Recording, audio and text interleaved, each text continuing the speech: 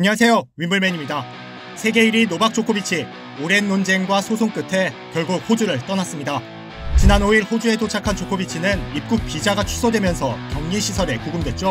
호주 정부를 상대로 소송을 제기해 승소했는데요. 하지만 호주 정부는 호주 사회의 건강과 안녕을 위협한다는 이유로 호주 오픈 개막을 불과 하루 앞두고 다시 비자를 취소했습니다. 백신 미접종 외에도 조코비치의 행보가 결정적인 영향을 미쳤다는 이야기가 많죠. 조코비치는 지난달 확진 판정을 받고도 마스크 없이 공식 행사에 참여했습니다. 입국 신고서의 해외여행 사실을 누락하기도 했습니다. 호주 오픈의 사나이는 이렇게 호주에서 쫓겨났는데요. 이번 추방으로 조코비치는 여러 기록에 도전 혹은 유지할 기회도 뺏겼습니다.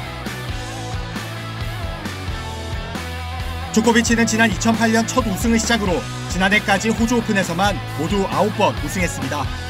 메이저 우승 20번 가운데 거의 절반을 호주 오픈에서 해낸 건데요.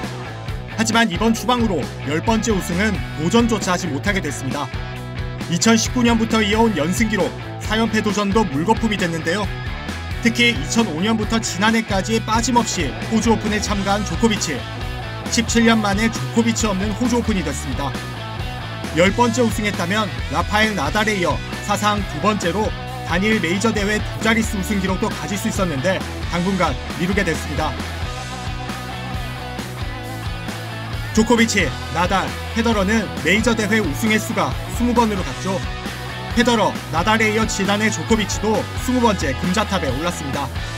올해 호주 오픈에서 우승했다면 처음으로 메이저 우승 횟수도 앞서 나갈 수 있었는데요. 출전 기회를 박탈당하면서 사상 첫 21번째 우승 도전 기회는 우선 나달에게 넘어갔습니다. 조코비치에게 이번 대회가 중요했던 이유는 세계 1위 때문입니다. 현재 조코비치는 랭킹 점수가 11,015점입니다. 지난해 호주 오픈을 우승했기 때문에 올해 2,000점을 지켜야 하는 상황이었는데요.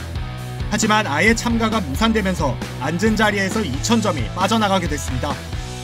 2위인 다니엘 메드베데프가 8,935점이고 3위인 알렉산더 지베레프는 7,970점인데요. 지난해 호주 오픈에서 메드베데프는 준우승했고 지베레프는 8강 탈락했습니다. 산술상 메드베데프와 지베레프 둘 중에 한 명이 우승한다면 세계 1위가 바뀌게 됩니다. 올해 조코비치에게 걸린 중요한 기록이 하나 있죠. 바로 남녀 통틀어 최장기간 세계 1위인데요. 조코비치는 지난해 3월 페더러를 제치고 최장기간 남자 세계 1위를 달성했습니다. 현재 360주 정도 세계 1위를 유지하고 있는데요. 남은 기록은 이제 슈테피 그라프의 377주 기록입니다. 만약 조코비치가 세계 1위를 계속 유지한다면 올해 6월쯤 그라프를 제치고 남녀 통산 1위까지 달성할 수 있는데요. 이번 호주 오픈이 끝난 뒤 1위에서 내려오면 기록 달성일도 그만큼 늦춰지게 됩니다. 조코비치는 지난해 호주 오픈에서 우승하고 두 달 정도 쉬었죠. 1위 자리를 뺏겨도 2, 3월 대회를 참가하면 포인트를 쌓아 금방 1위 자리를 되찾을 수도 있습니다. 하지만 조코비치는 지난해 클레이 코트 시즌에 쌓아놓은 포인트도 많은 상황입니다.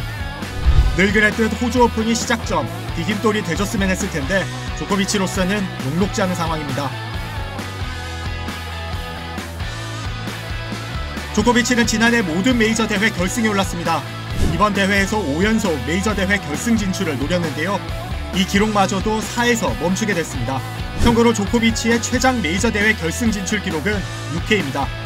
2015년 호주 오픈을 시작으로 이듬해 프랑스 오픈까지 연달아 결승에 올랐는데요. 이 부분 기록 1, 2위는 10회와 7회로 모두 로저 페더러가 가지고 있습니다. 통산 메이저 대회 결승 진출 기록은 페더러와 조코비치가 31회로 같은데요. 이번 대회 결승까지 올랐다면 32회로 단독 기록을 가질 수 있었는데 이마저도 다음을 기약하게 됐습니다.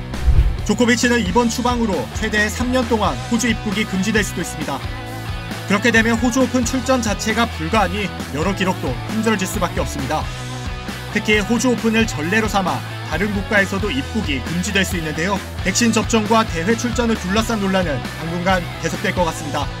영상 봐주셔서 고맙습니다. 참 구독과 좋아요도 누르셨죠?